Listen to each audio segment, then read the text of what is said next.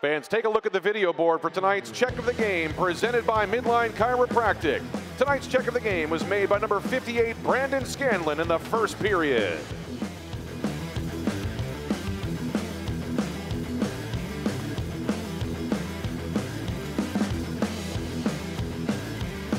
That was the check of the game presented by Midlign Chiropractic, proud partner of the Wolfpack.